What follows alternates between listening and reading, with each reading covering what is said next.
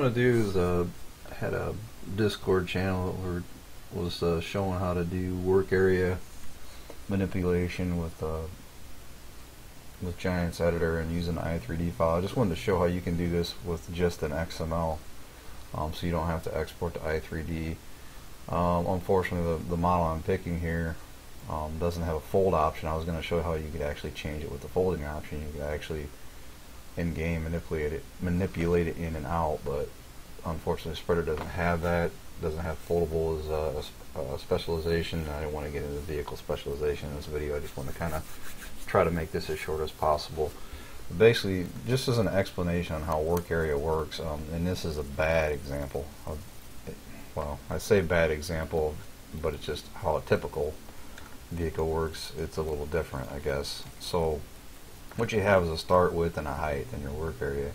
And it's basically just like it says it's a start it's how wide you want to go and then your height. Now this one's a little weird because it has a fan shape but once again when I said it was a bad example it's actually a good example to show how you can manipulate that shape a little bit. Now here's a just a cultivator.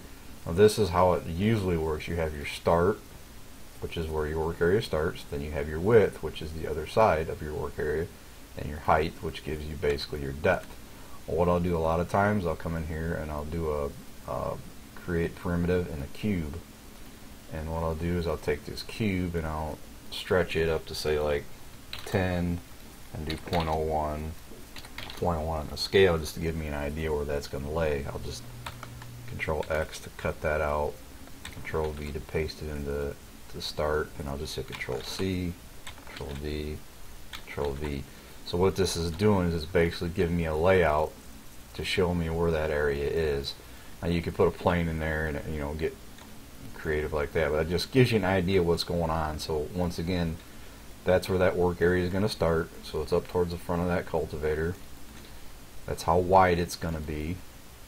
And then your height is how far back it's going to be. Um, basically, it's just giving you um, the area that that cultivator is working. That's why it's called area, I guess. I was lost for words there. But what you have to do, um, and it gets a little confusing when I first started this. I was just trying to mani manipulate these numbers, and I, I, had to understand what was going on. I guess I was lost for words again. But so when you have a, a start of three and a width of a negative three, you basically take the difference there. So you have a 3 and negative 3. The difference of that is 6. So this is actually going to be 6 meters because um, your the center of your vehicle is 0. So if you're a, a negative 3 and a positive 3, the difference between a negative 3 and a positive 3 is 6. Um, depth is pretty simple because it just it just moves back. That just gives you, so for example, you know, we're at 6 right now at 3, if we want to make this uh, 12, then you would just put 6 and a negative 6 and now you're a total of 6 wide and you would even have to change well I take that back you do have to change your height or you're gonna have a funny shape you'd want to do the same thing here you'd want to make that a 6 oops mid 9 to give it a square shape. So that's that's a basics on how the work area the width and the height works on a basic piece of equipment. If we close this out do not save because it's uh, in-game. So here's where it gets a little odd because you have this shape here so what it's doing now is it's starting it in at the center, a little further back from the equipment, because Z is your depth back, like so. If you look at the Z over here, it's changing. Control Z to switch that back. Now your width is where you want it to fan out. Um, so it's basically putting that um, that triangular shape. Now this this effect is what's going on here. If we hide that, that that's kind of a cheating way because it's got an effect. That's a whole different part, and we'll get into that a little bit later in the vehicle here. But your start, your width, and your height is actually giving that depth out in the fan shape. So once again, if we go create primitive, primitive cube, and then make this 10.01, we'll just copy that one, paste it there, and we just take this, Control C, Control V, Control V, Control V, delete that one. So now in your work area, if I highlight, if I click that, highlight them all, that's going to be your work area. It's just basically like it showed in the effect. It's going to fan out to here um, for your width, and then for the height, it's going to find out to this height over here. So it's basically computers just making an area up with a triangle. So that's once again a basic knowledge of work area. Like I said, it just explains how the start, width, and the height, how those work together. Um, so enough of that for right now. We're actually going to go into the XML. I'm going to show you how you can manip manipulate those uh, those nodes. Um, so if what I did is I'm just opening up the Kuhn uh, fertilizer spreader. I, I'm not going to get into how I do the XML and the mod description, how to pull out of the game, because I already showed that in another video. I'm just basically, like I said, I'm going to show how we can actually manipulate this, not have to use an i3D, because basically our mod is simply the XML and the mod script. You can see very small files. Not that the i3D is a large file, but when you start moving those files in, it does start to add. And then when you have a server, you'll appreciate getting rid of some data space. So if we look at that guy, um, it's this guy here.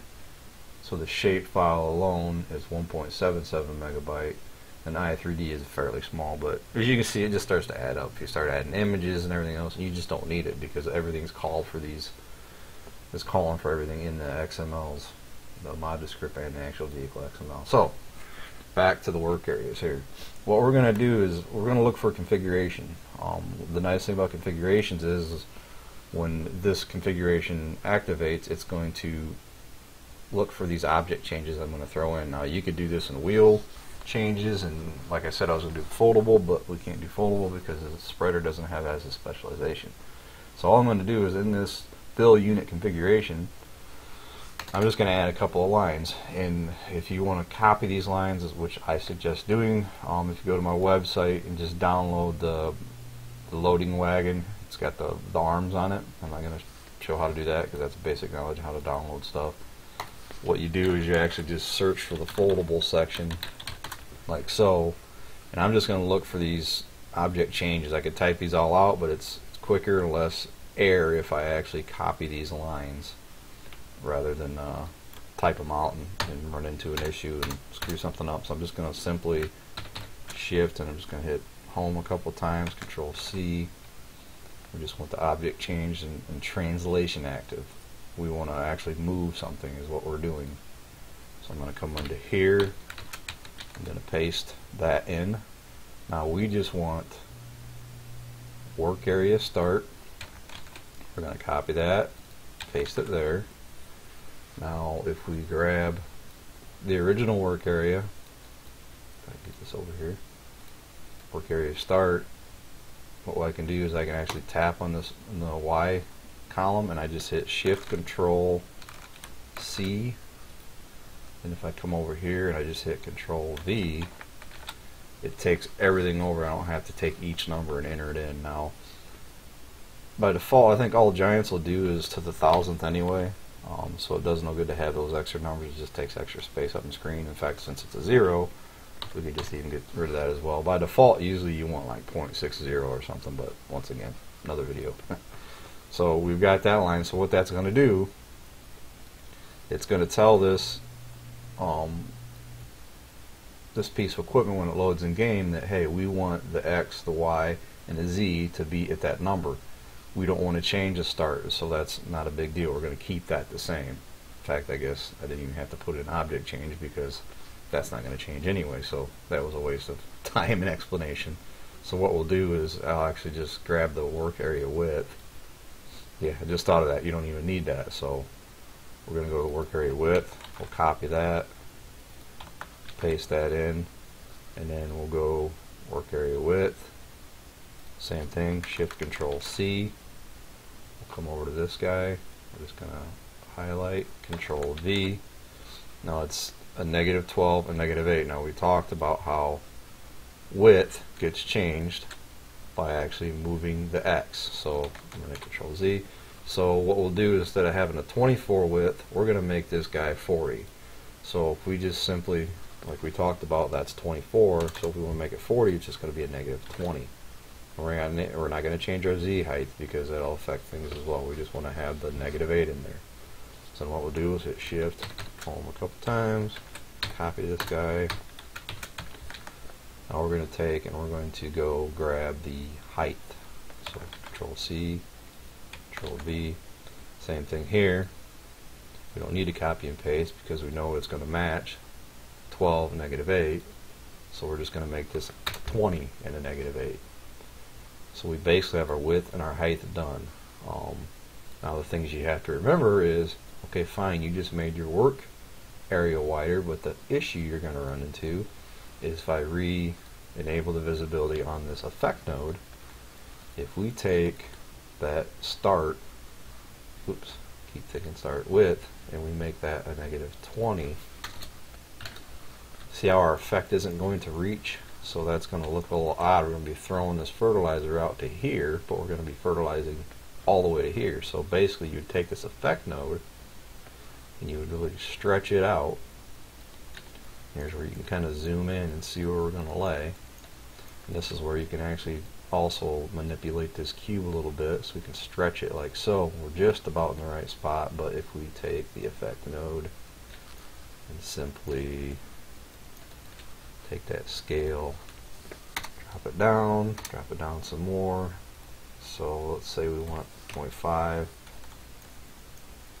And we don't have to get right on because sometimes you can overspray and not basically have what the actual worker is. We'll just make it a 1.45. So what we'll do is that is actually under effect, effect node. So if we come in and we copy this line, Control C in, and we're actually going to, if I search effect node just to make sure it's in in this, uh, it's mapped, I guess is what I'm saying. So there's effect node, effect node. So it's basically saying that's what it's using for the spreader material type. So if we just copy that name, hit Control C, come back up to our fill unit area and we actually go, okay, we want an object change node, effect node. Now we don't want translation active, we want scale active. Like so.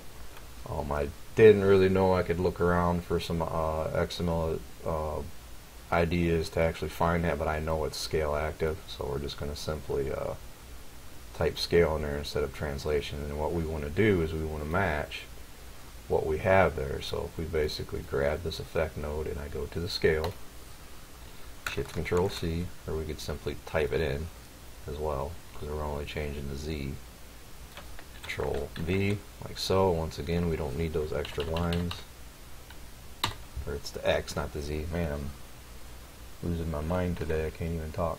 So basically what it's going to say is as soon as this loads in, it's going to look for fill unit configurations. Now if it had multiple ones, you'd have to go through and change them for each one if you wanted. But it's going to say, hey, let's change object work area width to translation a negative 20, 0, negative 8.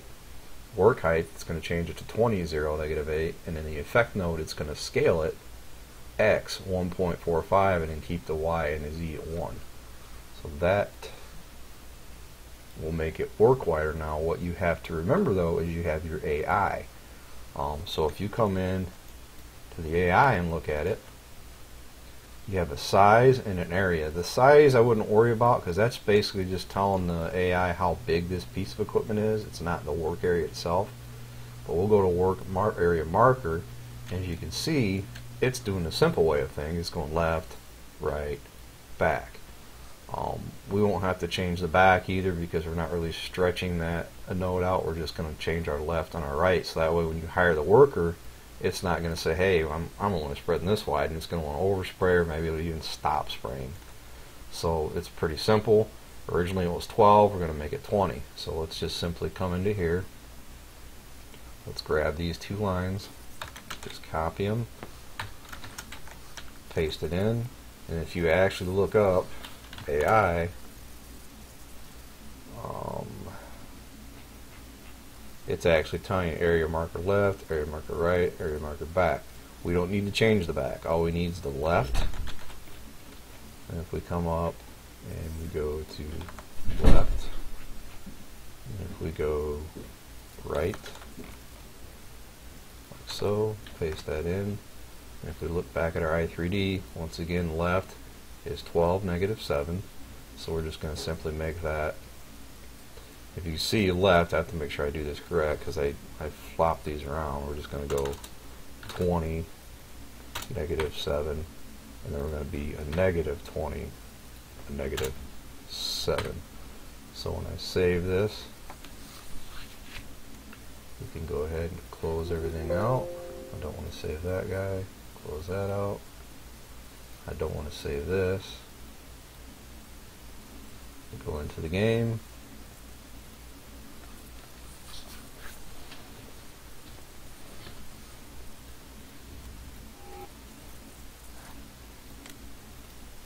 I think I've already got one purchased in that location. The only thing I didn't do is you want to make sure you change your working with in your just in your XML. I forgot to do that, but in fact we can actually do that real quick. Close that. If you want to make it so it's actually listing correctly, so you're working with is now going to be. I think I actually struck that out because I was trying to do the fold thing. Control Q. We're going to make this 40. Save that. Open the game again.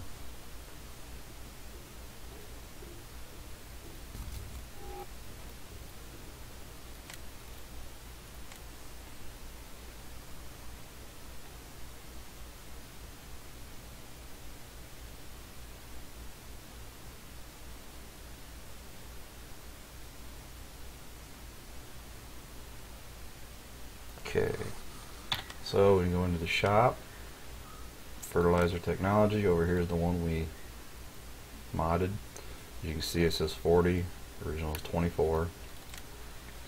Nothing really in the shop to really change, but we're going to go ahead and go over. So this is the in-game, and I'm trying to think if I drop it, it's just saying 40.2 ME CW.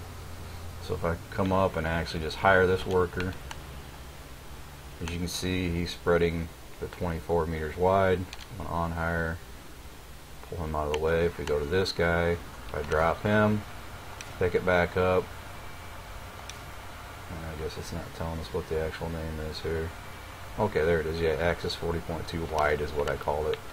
I'm not going to be able to hire the worker here because it's going to say, hey, I don't, I can't fertilize in this area because it's already fertilized. But if I simply start my fertilizer up, you can see our effect node is wider and our work area is wider like so. And if you wanted to actually, oops, say hey let's test and see if this width will be right, I can actually hire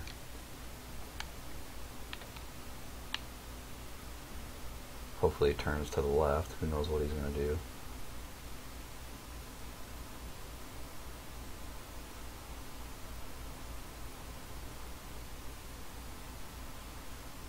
There he goes. He should pick up and go back the other way at the right width now.